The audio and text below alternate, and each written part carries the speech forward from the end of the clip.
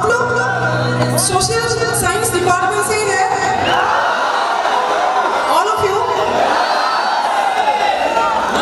मुझे बहुत पढ़ने को मन था सोशियोलॉजी सच बोलूँ और मैं पता नहीं कब ऐसा रहा कि गोल नहीं था। मतलब जो एजुकेशन सिस्टम या पेरेंट्स की अगर मैं बात मैं जो मैट्रिक पर मैट्रिक होता है। आप लोग क्या बोलते हैं यहाँ पे? हम असम में मैट्रिक बोलते थे। दसवीं की जो बोर्ड एग्ज़ाम उसमें मैथ्स में मैं हंड्रेड परसेंट मार्क लेके जो विश्वास नहीं करेंगे लोग, क्योंकि गायक, गायिका, वो भी भोजपुरी। कैसे हो सकता है? बहुत लोगों को ये हेड रिश्ते से देखा जाता है, मैंने फेस किया है। इसलिए मैं कह रही हूँ। लेकिन संगीत में ज़्यादा रुचि था तो मैं अवार्ड्स जो कंपटीशन में वो जीतती रही और पिताजी ने सोचा कि इसको आर्ट्स में देना चाहिए। लोगों को लगता है कि आर्ट्स बहुत बहुत सहज है। लेकिन सबसे ज़्यादा मार्क्स कैरी करने के लिए बहुत सबसे टफ आर्ट्स ही है मेरे हिसाब से। क्योंकि ऑब्जेक्टिव जो आंसर्स होते हैं मैथ्स में या तो मिला या तो ज़ीरो लेकिन आर्ट्स में आप जितना भी लंबा लिखो दस नंबर है। अभी आप लिख के जो आपको चेक कर रहे हैं, उनकी मानसिकता के ऊपर है कि वो पाँच मिलेगा कि नौ मिलेगा। तो आई थिंक मुझे आर्ट्स में भेजा गया, मैं फिर इंग्लिश में मैंने ऑनर्स लिया। फिर एमए में एडमिशन जाते जाते मैं इस तरह म्यूज़िक में बिज़ी हो गई कि वो कंप्लीट नहीं हो पाया, मन में रह गया।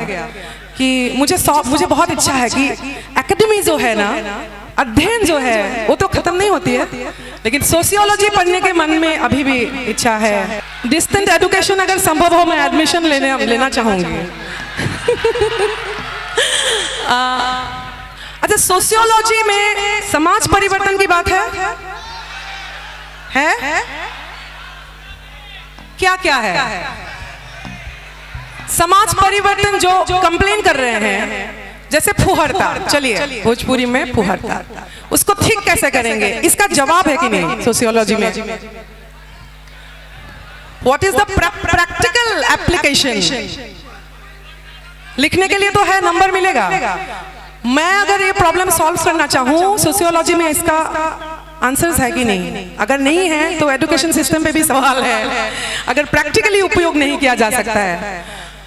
भूपेन हजारिका जी अपने आप में वो प्रमाण देते गए कि वो इस विभाग से थे। उन्होंने अपने गीतों के माध्यम से कंठ के माध्यम से। He took music as a tool to change society just like Bhikhari Thakur and अगला गीत वो प्रमाण करता है was inspired by Paul Robeson Paul Robeson Mississippi नदी के ऊपर गए। भूपेन हजारिका ने ब्रह्मपुत्र नदी को सवाल किया और बाद में गंगा जी से भी सवाल किया।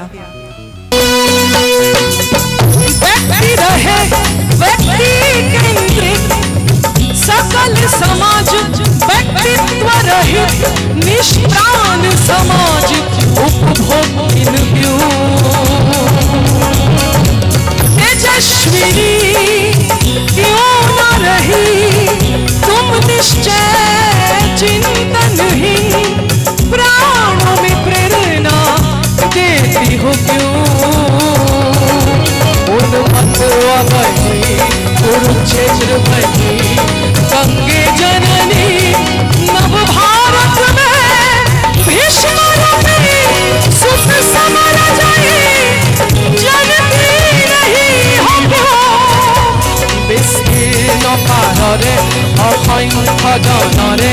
হাহাকার শুনি নিশব্দে নীরবে বুঢ়ালুই তুমি।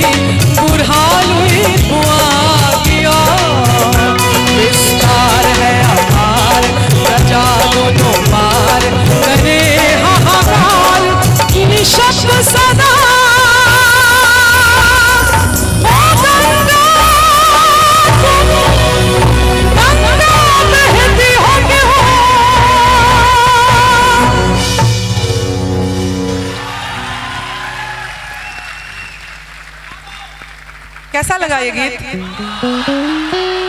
गीत के शब्द कैसे लगे? मुझे लगता है ऐसे गीतों की हमारे भोजपुरी जगत को बहुत ज़्यादा आवश्यक है। आवश्यकता है इसमें लिखने की। तब तो परिवर्तन होगा। प्रैक्टिकली जो राइटर्स हैं, उनको भी आना होगा। हम लोगों को भी दो कदम आगे आना होगा।